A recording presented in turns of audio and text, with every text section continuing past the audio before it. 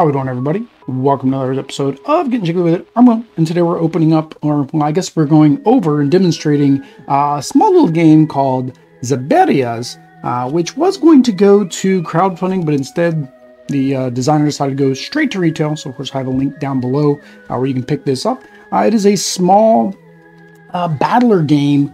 Uh, basically, they're they're touting it towards kids, ages two to four players, six and up uh, and they're saying it's good for uh, teaching kids counting and reading skills. With that said, go ahead and flip over the camera, give an idea of some of the components and some of the gameplay uh, mechanisms. Uh, that way you can see if this is a game for you.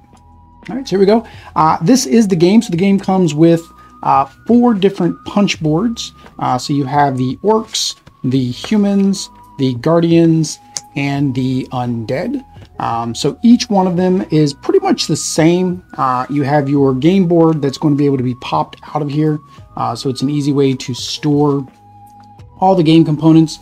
Uh, there are little notches here because you can be able to build your buildings and your castles and your different uh, upgrades. Uh, as you can see over here on the track, which cost a different amount of coins that you'll earn throughout the game.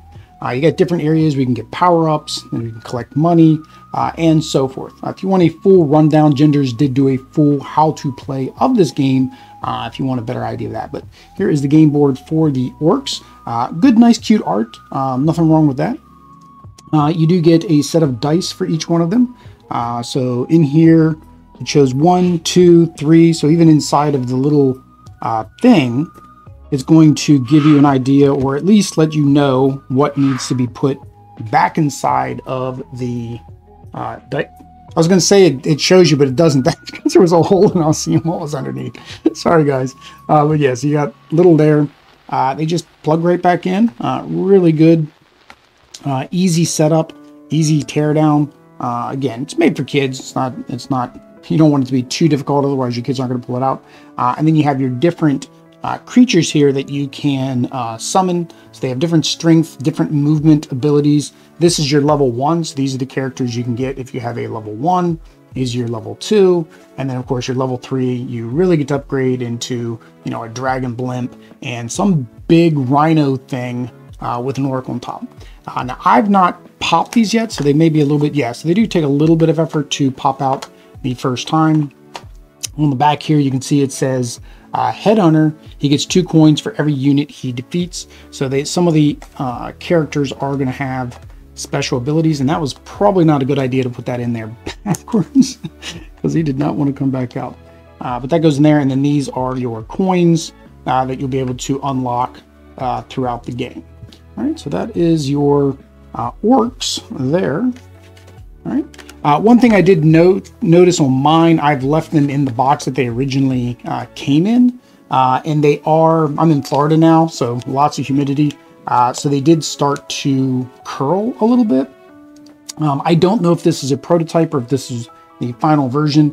Uh, so when you are storing them, I would probably recommend storing them every other direction because the way I was storing them was all like this which of course is making them all warp that way. So that's on me, not on you, because I think when they did come in the package, they were actually every other direction.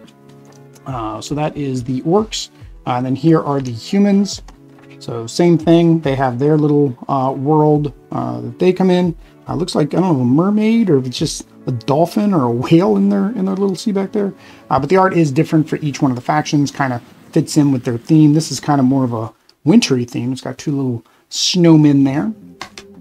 Uh, same thing though, the art is really cute, really uh, fun for kids. Uh, something bright and vibrant to get them interested in playing the game and counting.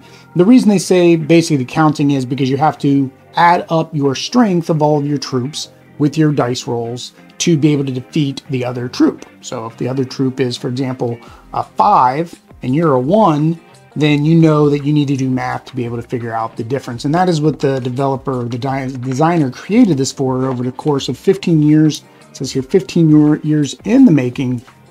Uh, and that is, he was trying to teach math to his kids, right? Uh, and then these are the guardians here.